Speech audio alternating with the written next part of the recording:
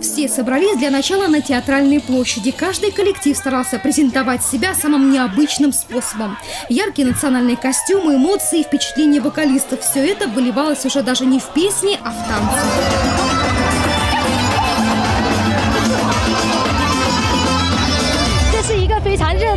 Очень любим Сочи, доброжелательных и гостеприимных жителей города.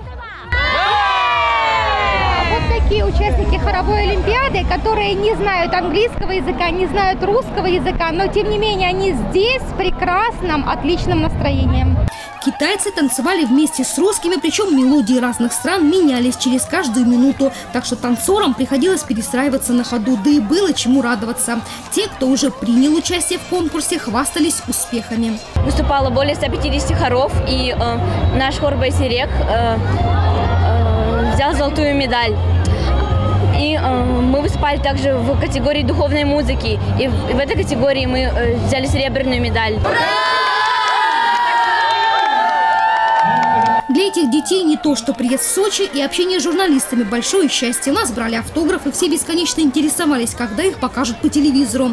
Да и сами организаторы девятых всемирных хоровых игр не ожидали такого искреннего приема. Потрясающая, фантастическая обстановка в Сочи. Я в полном впечатлении от организации мероприятия, от людей, от теплоты, от гостеприимства Сочи. В городе Сочи сегодня очень много гостей, и все эти гости имеют э, возможность соучаствовать в этом празднике песни, хорового пения. Это момент привлечения в город и все больших и больших туристов, которые наряду с тем, что они будут купаться и загорать на замечательных наших безопасных пляжах, кроме этого имеют возможность быть участниками тех мероприятий, которые они никогда в жизни больше не смогут увидеть, кроме как в Сочи. А посмотреть, как на ходу поют песни, собралось много горожан и туристов. Одни посещают гала-концерты, они проходят в Ривьере в парке Фрунзе, другие приходят на конкурс, чтобы поставить зрительские оценки. В параде нации принимают участие 148 хоров. Это профессиональные и непрофессиональные вокальные коллективы.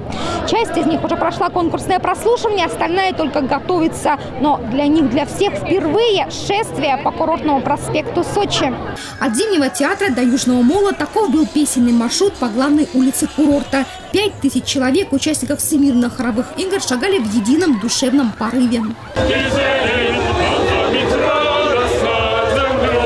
Праздник музыки продолжится до 16 июля. В Ледовом дворце Большой в субботу на церемонии закрытия назовут победителей девятых всемирных хоровых игр. Елена Овсецина, Демид Даниловский, телекомпания «ФКТ».